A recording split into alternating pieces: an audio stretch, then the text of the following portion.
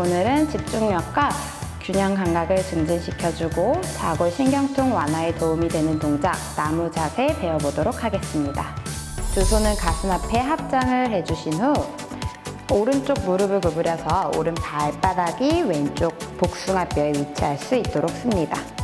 허리를 곱게 세운 상태로 동작을 해주실 거고요. 좀 더 가능하신 분은 오른 발로 천천히 왼다리를 쓸면서 올라와 무릎에다가 위치해 주실 거예요. 이때 오른쪽 무릎이 안으로 말리지 않게 바깥쪽으로 더 열어주실 거고요. 조금 더 가능하시면 손을 풀러서 오른 다리를 왼쪽 허벅지 안쪽에 깊이 위치하세요.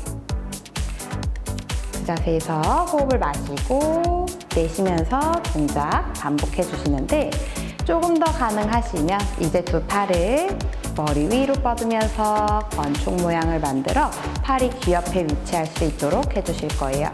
이때 귀 어깨는 멀어질 수 있도록 어깨에는 긴장감을 풀어주시고 힙 바로 아래에 무릎, 발목이 위치할 수 있도록 해주실 거예요.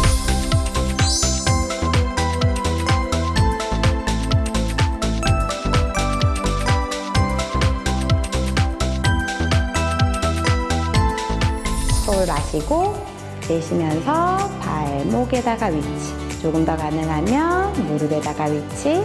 조금 더 가능하신 분은 허벅지 안쪽에 위치해 주실 거예요. 조금 더 가능하신 분은 팔을 천장 위로 쭉 뻗어내면서 손 건총 모양을 만들어 주시고요. 팔이 귀 옆에 위치할 수 있도록 귀 어깨 멀어지게 유지하고 허리가 꺾이지 않게 복부 긴장 호흡을 해주세요 힙 바로 아래 무릎과 발목이 위치할 수 있도록 해주실 거예요. 다리 풀러서 제자리 손 풀러 동작 마무리 해주십니다.